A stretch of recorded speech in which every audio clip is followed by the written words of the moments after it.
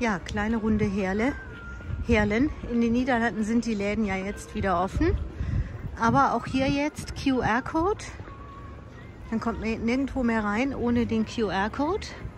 Die Leute bestellen sich aber draußen was und mein Weg führt mich zu dieser kleinen vietnamesischen Lumpia, dieser Stand. Äh, die haben meiner Meinung nach die allerbesten vietnamesischen Lumpias. Es ist eine ältere Frau, also Frühlingsrolle. Die macht die seit Jahren und die sind so lecker. Sie sehen hier Fußgängerzone in Herlen.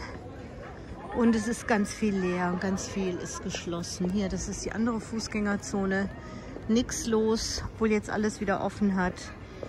Es ist eine trostlose Stadt geworden. Ganz viel leer, ganz viel zu vermieten. Ja. So, und ich war gerade schon mal hier. Jetzt komme ich noch mal. das hat die Dame.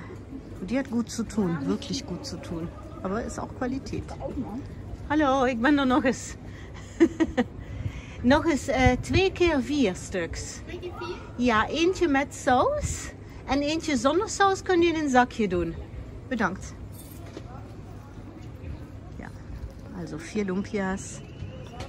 Und die anderen vier nehme ich mit. Das ist, äh, die sind klein, aber super, super lecker. Ja, nur, dass sie sehen so, so sieht es hier aus.